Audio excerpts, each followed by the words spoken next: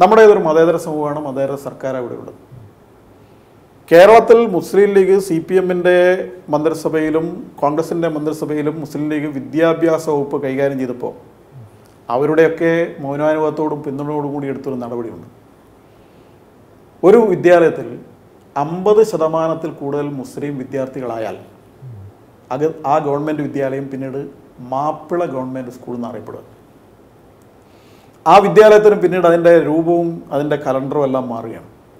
മാപ്പിള സ്കൂളായി കഴിഞ്ഞാൽ വെള്ളിയാഴ്ച അവധിയാണ്. ശനിയാഴ്ചയാണ് പ്രവൃത്തി ദിവസം റംസാൻ മാസം അവധിയാണ്. ബാക്കി വിദ്യാർത്ഥികൾക്കുള്ള രണ്ട് മാസത്തെ വേൽ മധ്യവേനൽ അവധിയല്ല അവരുടെ അവധിക്കാലം. അവരുടെ പരീക്ഷ മാറി മാറ്റമായിരുന്നു. പന്ത്രണ്ടരക്ക് അവർക്ക് സ്കൂളിൽ വെള്ളിയാഴ്ച പള്ളിയിൽ പോകാൻ കുട്ടികളെ വിടും. പത്തര മണിക്ക് സ്കൂളിൽ വന്നാൽ മദ്രസയും വിട്ടിട്ട് വന്നാൽ മതി. എന്തൊക്കെ ആനുകൂല്യമാണ്? അമ്പത് ശതമാനത്തിൽ മദ്രസയിൽ ക്ലാസ്സുകൾ നടക്കേണ്ടത് കൊണ്ട്. അതെ ഓൺലൈൻ അധ്യയനം അത് ഒമ്പതര മണിക്ക് തന്നെ മതി എന്ന് സർക്കുലർ അതാണ് പറയുന്നത്. അതായത് അമ്പത് ശതമാനത്തിൽ കൂടുതൽ മുസ്ലിങ്ങൾ മുസ്ലിം കുട്ടികൾ ഉണ്ടെങ്കിൽ ഗവൺമെന്റ് സ്കൂൾ മാപ്പിള സ്കൂൾ ആകും. പിന്നെ മുസ്ലിങ്ങളുടെ മതപരമായ താല്പര്യത്തിനനുസരിച്ച് മാത്രമേ ആ വിദ്യാലയം പ്രവർത്തിക്കുകയുള്ളൂ. എന്ന് വളർന്നു വരുന്ന വിദ്യാർത്ഥികളോട് ഒരു സ്കൂൾ പറയുമ്പോൾ സർക്കാർ പറയുമ്പോൾ ആ കുട്ടി പഠിക്കുക. ഈ നാട്ടിൽ അമ്പത് ശതമാനത്തിൽ കൂടുതൽ മുസ്ലിങ്ങളായി കഴിഞ്ഞാൽ ഇതൊരു മാപ്പിളസ്ഥാനാകും എന്ന് തന്നെയാണ്.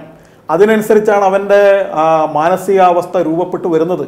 ഇപ്പോഴത്തെ മുസ്ലിം കുട്ടികൾ അവർ ഭൂരിപക്ഷമാകുന്നതിനനുസരിച്ച് അഥവാ അവരുടെ എണ്ണം കൂടുന്നതിനനുസരിച്ച് ഞങ്ങളൊരു മാപ്പിളസ്ഥാനിലേക്കാണ് ഉറച്ച ചൂടുവെപ്പുകളുമായി മുന്നോട്ട് പോകുന്നത് എന്ന ചിന്താഗതി അവരിൽ വളർത്തിയെടുത്തതിന് ഇവിടുത്തെ മതേതര സർക്കാരുകൾ ഗവൺമെന്റ് വിദ്യാലയങ്ങൾ മാപ്പിള സ്കൂളുകളാക്കി മാറ്റിയതിന്റെ പിറകിലുള്ള ഈ നീക്കത്തിന് വലിയൊരു പങ്കുണ്ട്. ഇതൊരു ഉദാഹരണമാണ് ഇതുപോലെ നിരവധി നിരവധി സംഭവങ്ങളുണ്ട്. എഴുപത്തിയഞ്ച് ശതമാനം ക്രിസ്ത്യാനികളുള്ള സ്കൂൾ ക്രിസ്ത്യൻ സ്കൂളാക്കിയിട്ടുണ്ടോ?